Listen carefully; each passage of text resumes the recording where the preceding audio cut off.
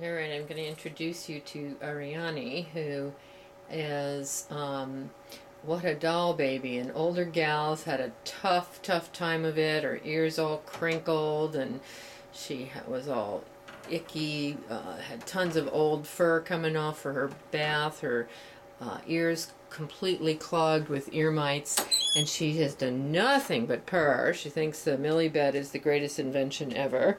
She's just super duper loving and friendly. Um, apparently has been was outside as a stray and kept walking into everybody's house like please let me in um, and finally um, somebody contacted us can't get close enough to you can't have enough love is doing nothing but purring and you know was so pleased to have some food was so pleased to have her bath. I mean, just purred and purred and purred throughout the whole bath.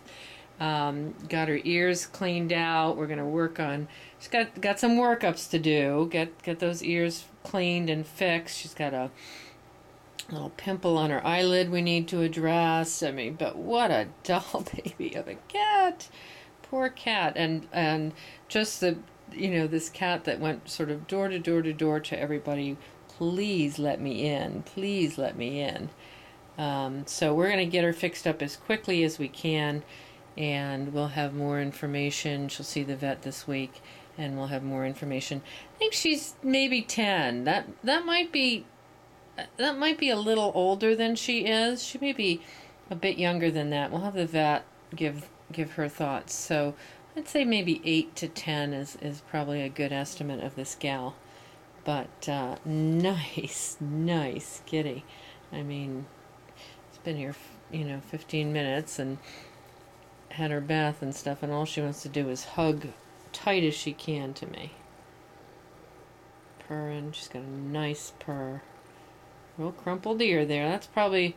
It's always going to be like that. I suspect we'll be able to leave that ear and not have to do anything with it, but we'll need to get the insides of those ears cleaned up. But great gal.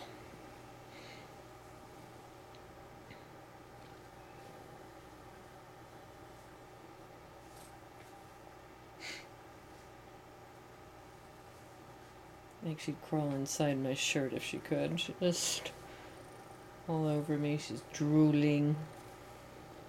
Nice cat.